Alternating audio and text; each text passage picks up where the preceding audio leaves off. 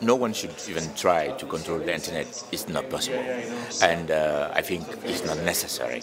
Uh, we it, it's, it's a, a, global good, and we have to con continue to use it. It's been very useful so far. If it went broke, don't fix it. Now we need to make, make sure that all of the other constituencies that are, work together uh, the telecommunication constituency and the internet, internet constituency are working together. And Fadi Chehadé from ICANN and ITU are working very closely now to ensure that the broadband networks that will enable the flow of the free flow of internet are there when people are connected. We only have one third of human population connected so far. I mean, it's necessary, so it, should, shouldn't be a problem. We have to solve it, the, the, the problem that will come with it.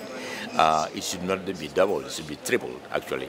Uh, but in addition to people connected, you will have over 50 billion devices connected by 2020. And that's a huge amount, that demand that will uh, come on the traffic. Uh, we need to be able to manage that and to, to provide the right thing to do. We need to solve the other collateral uh, problems that come with it.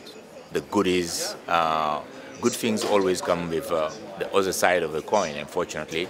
Issues of cybersecurity that needs to be uh, clearly debated. And well, I, would say that uh, internet uh, is probably the greatest tool ever invented for humankind, and uh, uh, the importance of it is seen everywhere and develop in developing countries.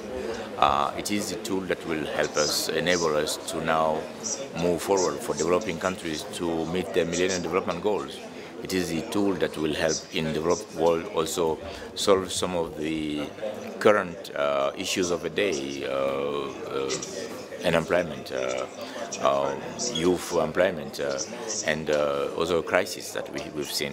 And therefore, we are very much comfortable with what is happening now in the internet field. Some well, uh, it's, it's an internet where uh, everyone can freely connect, have access to information, use information, create information and share it. This is what the world is dreaming of. That will take us from the information society of today to the knowledge society that we are trying to build now.